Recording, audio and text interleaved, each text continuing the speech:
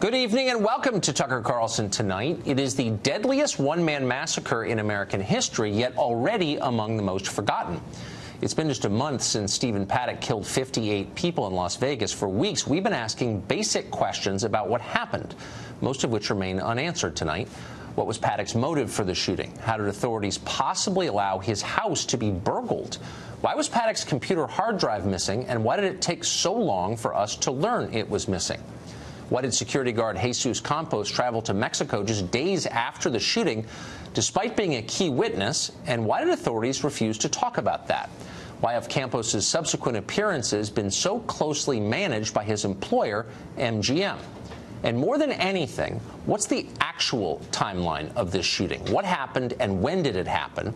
And why in the world is it still so hard to get a straight answer about that? Well, to these long-standing questions, we can add a few more tonight.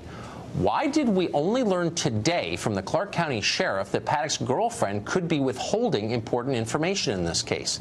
If in fact she knows more than she's saying, why isn't she being interviewed right now? We also discovered today that a police officer accidentally fired his gun in Paddock's hotel suite on the night of the shooting. How did that happen? Guns don't often accidentally discharge, they're accidentally fired. What exactly were the circumstances of this firing? Now, we're not trying to push a wild conspiracy theory here. It's possible the Trilateral Commission was involved, but the more likely and, in fact, far more terrifying explanation is incompetence.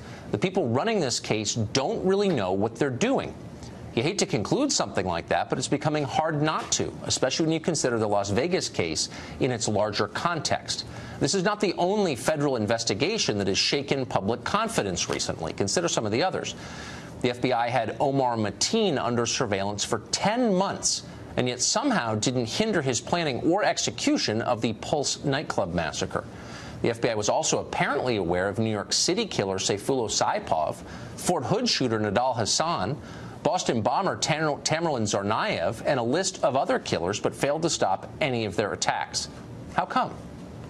The FBI famously investigated Hillary Clinton's email server for more than a year, during which time, for some reason, the Bureau gave immunity to several top aides for no obvious reason and failed to tape record key interviews.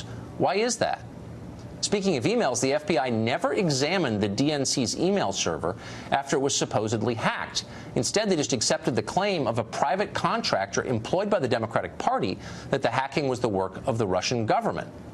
Why didn't one of the Bureau's many tech teams conduct its own investigation of a matter this important and politically sensitive? Meanwhile, in case after case, the FBI's supposedly incorruptible white collar division has leaked sensitive details of current investigations to the press.